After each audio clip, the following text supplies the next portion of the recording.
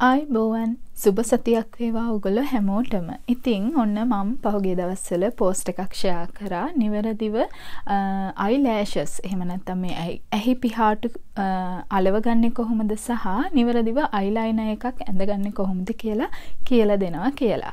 ඉතින් ගොඩක් දෙනෙක් ඒකට කැමැත්ත ප්‍රකාශ කරලා තිබ්බා. තව කට්ටියක් කියලා තිබ්බා මගේ මේකප් වීඩියෝස් ඇයි දැන් කරන්නේ නැත්තේ කියලා. ඉතින් ගොඩක් දුරට මම ස්කින් කෙයා වීඩියෝස් ටිකක් කරා.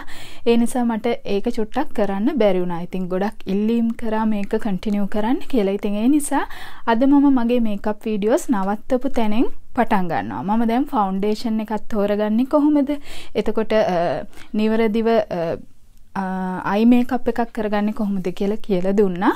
ඉතින් මම නැවැත්තුවේ මේ අයිලයිනර් එකයි අයිලෑෂස් අලව ගන්න විදියයි කරන්න තියෙන තැනින්. ඉතින් මම හිතුවා මේ වීඩියෝ එකෙන් ඒ මේකප් පාඩම කටිනියව් කරන්න ඕන කියලා. ඔයා ඒ වීඩියෝත් එක්ක එකතු නැත්තම් මාව අලුතෙන් සබස්ක්‍රයිබ් කරපු කෙනෙක් නම් සමහර විට ඒ වීඩියෝස් ඔයාලට බලන්න හම්බුන් නැතු ඇති. ඉතින් ඩිස්ක්‍රිප්ෂන් එකේ ලින්ක් ටික තියෙනවා. ඔයාලට පුළුවන් ගිහිල්ලා ඒ වීඩියෝස් බලන්න. මොකද මගේ වීඩියෝස් වල තියෙන එක් දෙයක් තමයි එකින් එක වීඩියෝස් එකකට එකක් සම්බන්ධ වෙන වීඩියෝස් තියෙන්නේ මගේ ස්කින් කයා වීඩියෝසුත් තව ඩ්‍රෙසින් වීඩියෝසුත් මේ ඔක්කොම තව වීඩියෝ එකක් එක්ක සම්බන්ධයි. ඒ නිසා මාත් එක්ක අලුතෙන් එකතු වෙන කෙනෙකුට මේක ප්‍රශ්නයක් වෙන්න පුළුවන්. ඒ නිසා පුළුවන් නම් ඔයාලා මගේ වීඩියෝස් වලට ගිහිල්ලා මගේ හැම වීඩියෝ එකක්ම බලන්න. එතකොට ඕගොල්ලන්ට මම ඉදිරියට කියලා දෙන දේවල් තේරුම් ගන්න ඉතාමත්ම පහසු වේවි. ගොඩක් වෙලාවට මට එන කමෙන්ට්ස් කියවල බලද්දි මම කලින් කරපු වීඩියෝස් වල තියෙන දේවල්ම තමයි නැවත නැවත අහලා තියෙන්නේ. ඒ නිසා එතකොට මට කියන්න වෙන්නේ ඒ වීඩියෝස් වල කරලා තියෙන දේවල්මයි. බොහෝ වෙලාවට මම වීඩියෝ එකේ ලින්ක් එක තමයි ඕගොල්ලන්ට කමෙන්ට් එකක් විදියට දාන්නේ. ඉතින් ඊට ලේසි මම ගොඩාක් කාර්යබහුලයි මට පුංචි බබෙකුත් ඉන්නවා. ඉතින් ඊට වඩා ලේසි ඕගොල්ලන්ට මේ වීඩියෝස් වලට ගිහින් බැලුවම ඉදිරියට එන වීඩියෝස් සුත් මේ වීඩියෝ එක්ක සම්බන්ධ වෙනවා. ඉතින් ඒ නිසා ඕගොල්ලොන්ට යම්කිසි පාඩමක් නොතේරුණා නම් අනිවාර්යයෙන්ම මම ඒකට හේතු සහ ඒක කරන විදි ඔක්කොම මගේ මුල් වීඩියෝස් වල කියලා දීලා තියෙනවා. යම්කිසි අපහැදිලිතාවයක් තියෙනවා නම් අනිවාර්යයෙන්ම අහන්න. නමුත් අර වීඩියෝස් බැලුවොතින් ඕගොල්ලන්ට තේරුම් ගන්න ඉතාමත්ම පහසුයි. ඉතින් අද වීඩියෝ එකේදී පළවෙනි කොටස තමයි අයිලයිනර් එකක් කොහොමද නිවැරදිව ඇඳගන්නේ කියලා. අපි මේකප් ගත්තම මේකප් වර්ග තියෙනවා. නෝමල් මේකප් එතකොට heavy makeup gold makeup silver makeup මේ වගේ මේකප් විවිධ වර්ග තියෙනවා. නමුත් මේ හැම මේකප් එකකටම බොහෝ වෙලාවට බලපාන්නේ අයි මේකප් එක. අපි අයි මේකප් එකෙන් තීරණය කරන්න පුළුවන් මේක නෝමල් මේකප් එකක්ද එහෙම නැත්නම් හෙවි මේකප් එකක්ද එහෙම නැත්නම් සිල්වර් මේකප් එකක්ද ගෝල්ඩ් මේකප් එකක්ද කියලා අපිට මේක වර්ග කරන්න පුළුවන් මේ අයි මේකප් එක දිහා බලලා.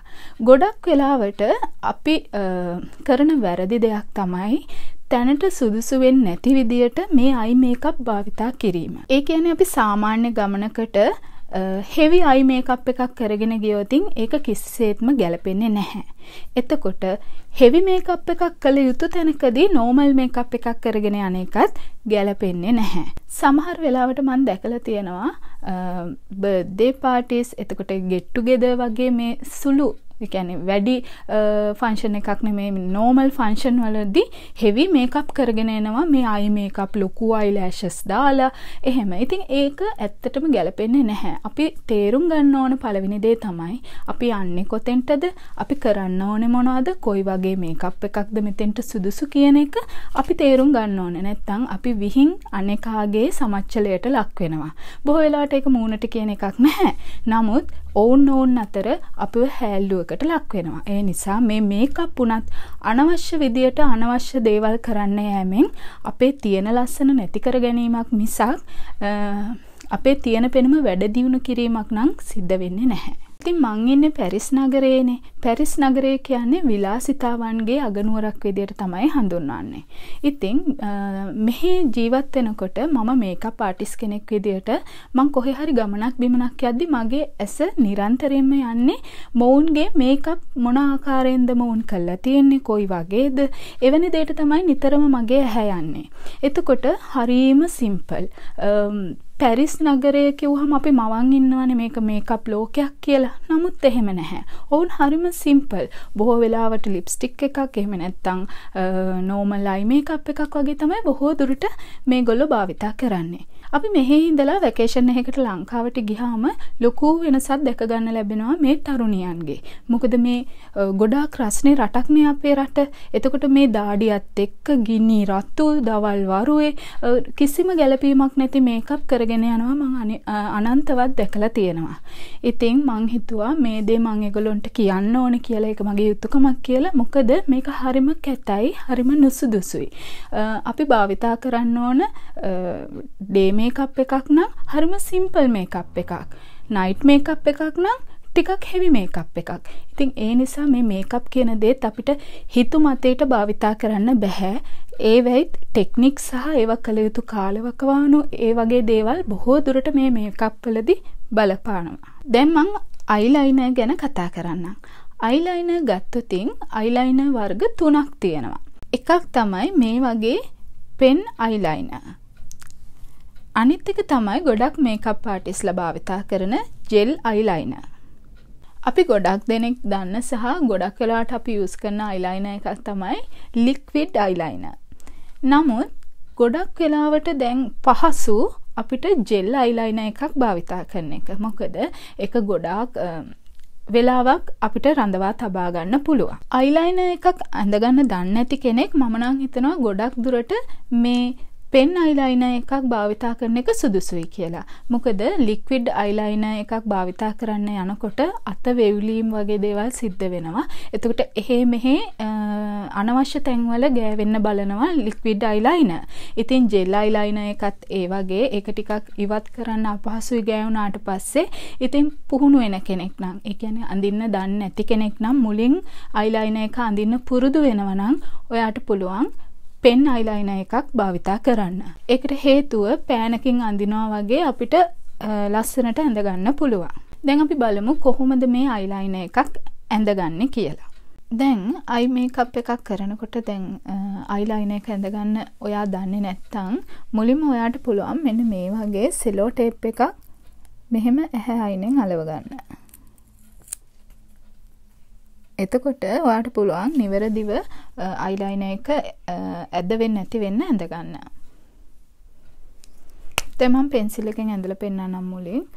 ඔයාට පුළුවන් මෙන්න මේ විදියට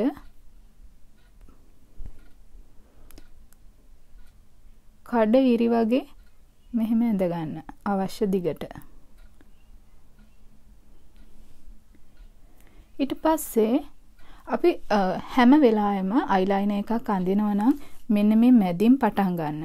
මොකද මේ කොනෙන් පටන් ගන්නකොට වැඩි ප්‍රමාණයක් මේ කොනේ ගෑවුනොත් ඒක අයිලයිනර් එකකට කැතයි. එතකොට එතන ඉඳන් ඒක සමාන්තර වෙන්න ලොකුවට අයිලයිනර් එක අඳින්න වෙනවා. නිසා හැම වෙලාවෙම මේ මැදින් පටන් ගන්න. දැන් මම මෙහෙන් ඇඳපු නිසා මම මෙතන කොනේ පටන්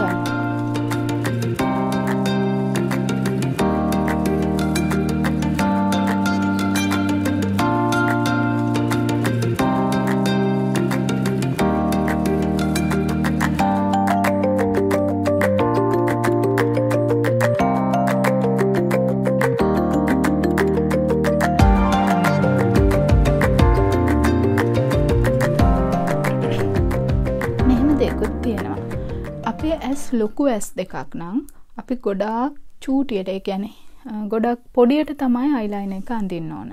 නැත්තම් ලොකුවට ඇඳොත් තවත් ඇහැ ලොකු කෙල්ලා ලොකු වෙලා තමයි පේන්නේ. එතකොට අපේ ඇස් දෙක පුංචි නම් අපිට පුළුවන් ටිකක් ලොකුවට අයිලයින එක අඳින්න. එතකොට හොඳට ඇහැ කැපිලා පේනවා. දැන් මම මේ ඇහි ඇඳලා පෙන්නලා තියෙන්නේ ඔයාලට පාටියකදී එහෙම නැත්නම් ෆන්ක්ෂන් එකකදී හෙවි මේකප් එකකදී අයිලයිනර් එක ඇඳගන්න විදිය. එතකොට ඕගොල්ලෝ ඔෆිස් යනවා නම් එහෙමත් නැත්නම් සාමාන්‍ය ගමනකට මේ වගේ අයිලයිනර් එකක් ඇඳගන්න එක කිසිසේත්ම ගැලපෙන්නේ නැහැ. මම කියලා දෙන්නම් ඒ වගේ තැනකට යද්දි කොහොමද අයිලයිනර් එකක් අඳින්නේ කියලා. දැන් මම මේ ඇහි ඇඳලා පෙන්නන්නම් ඒ කොහොමද කියලා. අපි මේ ඇහි අඳිනකොට අපි ඇහෙන් එලියට අයිලයින එක එන්න දෙන්නේ නැහැ. ඒ කියන්නේ මේ ඇහි සීමාවෙන් එලියට මේ වගේ අයිලයින එක එන්න දෙන්නේ නැහැ. නෝමල් ගමනකදී අයිලයින එකක් අඳිනකොට.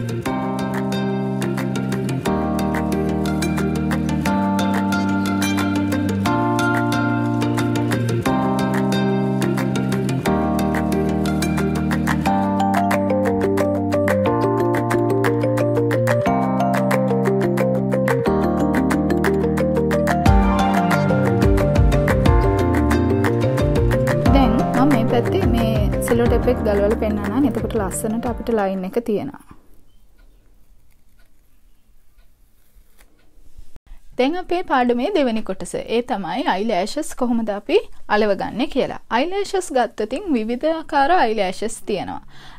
අපි ෆංක්ෂන් එකකට යද්දී භාවිතා කරන අයිලෑෂස් ටිකක් ලොකු වෙන්න ඕන, ටිකක් හෙවි වෙන්න ඕන. එතකොට තමයි ඒක අයි මේකප් එකට ලස්සනක් ගෙන දෙන්නේ. ඉතින් ඒ මෙන්න මේ වගේ හෙවි අයිලෑෂස්. නමුත් මේ වගේ හෙවි අයිලෑෂස් අපිට නෝමල් ගමනකදී භාවිතා කරෝතින් ඒක හරිම අවලස්සනයි. නිකං ඒක සමච්චලයකට ලක්වෙන්න පුළුවන් දෙයක්. ඉතිං එවැනි අවස්ථාවකදී අපි භාවිතා කරන්න ඕන මෙන්න මේ වගේ පොඩි අයිලෑෂස් තියෙන අයිලෑෂස් තමයි. මොකද මේකෙන් අපිට ස්වභාවික පෙනුමක් තමයි අපේ අයිලෑෂස් වලට ලබා දෙන්නේ. එතකොට අයි මේකප් එක සහ අපේ නෝමල් මේකප් එක ඉතාමත්ම ලස්සනට තියෙනවා මේ වගේ පුංචි අයිලෑෂස්, ඒ කියන්නේ වැඩි ප්‍රමාණයක් නැති අයිලෑෂස් දෙකක් භාවිතා කිරීමෙන්. මතක තියාගන්න මේ වගේ ලොකු අයිලෑෂස් කොයිම වෙලාවකවත් ඕගොල්ලෝ සාමාන්‍ය ගමනකදිවත් සාමාන්‍ය පාටියකදිවත් භාවිතා කරන්න එපා. අයිලෑෂස් භාවිතා කරන්න කලින් අපි අපේ ස්වභාවික ලෑෂස් දෙක මේ කර්ලින් එහෙකින් කර්ල් කරගන්න ඕන.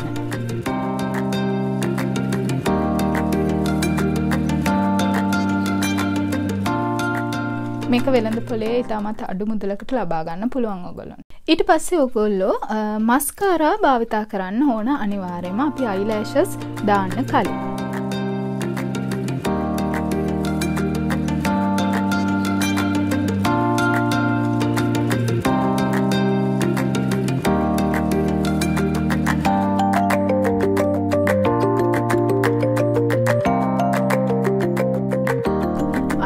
ලෑෂස් භාවිතා කිරීමේදී ගොඩක් දෙනෙක්ට තියෙන ප්‍රශ්නයක් තමයි මේ ලෑෂස් එකත් එක්කෙන ග්ලූ එක. එහෙම නැත්තම් ගම් එක. මේ ගම් එක ගොඩක් වෙලාවට ඇලවෙන්නේ නැහැ. ඒ නිසා ඔගොලන්ට පුළුවන් මෙන්න මේ වගේ වෙනම ග්ලූ එකක් ගන්න. මේක වෙළඳපොලේ ගන්න තියෙනවා. අයිලෑෂස් ග්ලූ කියලා ඔගොලන්ට ඉල්ලන්න පුළුවන්. ඉතින් මෙවැනි එකක් භාවිතා කිරීමෙන් හුඟ වෙලාවක් අයිලෑෂස් දෙක ස්වභාවික විදියට දිගටම තියාගන්න පුළුවන් නමුත් මේ අයිලෑෂස් එකත් එක් එන ගලුව එක බොහෝ වෙලාවට ටික වෙලාවක් ඇද්දි ගැලවෙන්න බලනවා. අයිලෑෂස් එක අල්ලන්න අපිට වෙනම උපකරණයක් මෙන්න මේ විදියට එනවා. නමුත් මේකත් වෙළඳපොලේ ගන්න තියෙන ඔයගොල්ලන්ට මේක ගන්න නැත්තම් ඔයාලට පුළුවන් ඒ වෙනුවට ඔයගොල්ලන්ගේ ට්විසර් එක භාවිතා කරන්න. අපි ග්ලූ ටිකක් මේ වගේ කොටන් බන්න එකකට අරගෙන මේකේ ගාන්න ඕන මෙන්න මේ විදියට. ගාලා තප්පර කිහිපයක් තියෙන්න අරින්න ඕන. ඊට පස්සේ තමයි අපි ලෑෂස් වලට මේක අලව ගන්නෙ. දැන් ඔයගොල්ලන්ට පේනවනේ මෙන්න මේ විදියට තමයි අලව ගන්නෙ. දැන් මේ වෙනස අපිට නෝමල් මේකප් එකකදී දැක්කොතින් ඒක හරිම ගැලපෙන්නේ නැති කමක් අපිට තේරෙනවා. ඉතින් ඒ නිසා කොයිම වෙලාවකදීවත් මේ වගේ ලොකු ලෑෂස් හෙවි මේකප් එකකදී පාටි එකදී විතරක් භාවිතා කරන්න. මං කියන්නේ වෙඩින් වගේ ලොකු ෆන්ක්ෂන් වලදී විතරක් භාවිතා කරන්න. නෝමල් මේකප් එකකදී මේ වගේ හෙවි අයිලෑෂස් භාවිතා කරන්න එපා. ඉතින් කලින් මම මේ ලෑෂස් එක අලවද්දී ඒ කොටස රෙකෝඩ් වෙලා නැහැ. ඉතින් මම නැවත පෙන්වන්නම් අපි සාමාන්‍ය ලෑෂස් එක අලවද්දී කොහොමද අලවන්නේ කියලා. ඉතින් මෙහෙම ලෑෂස් එක අරගෙන අපි පොඩ්ඩක් මෙතන ට්‍රිම් කරගන්න ඕන. අයිලෑෂස් එකේ කොන පොඩ්ඩක් ට්‍රිම් කරගන්න ඕන. එහෙම නැතුනොත් ඉතින් මෙතෙන්දී ඒක ස්වභාවික වෙන්නේ නැති වෙන නිසා. මුලින්ම අපි මේක එහිපිහාට උඩින් තියලා ඊට පස්සේ තමයි දෙපැත්තෙන් තද කරලා හරිගස්ස ගන්න.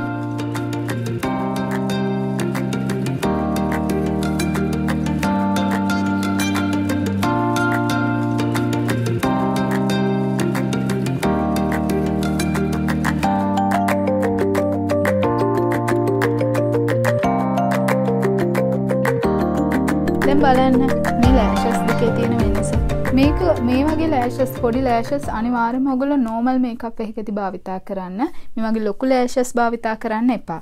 ලොකු ලෑශස් භාවිතා කරන්න ඕන අනිවාර්යයෙන්ම ෆන්ක්ෂන් එකකදී විතරයි. මම මේක නිතර නිතර කරන්නේ මේ වැරද්ද මං හැමදාම දකිනවා අපේ අයගේ. එතකොට මේකප් ආටිස් කෙනෙක් විදියට මට හිතෙනවා ඇයි මේ ළමයි මේ නොගැලපෙන දේවල් කරන්න කියලා. ඉතින් ඒ නිසා තමයි මම මේ දේ කියලා දෙන්න හිතුවේ විශේෂයෙන්ම. ඉතින් බලන්න දෙකේ තියෙන වෙනස මේක හරිම නැචරල්.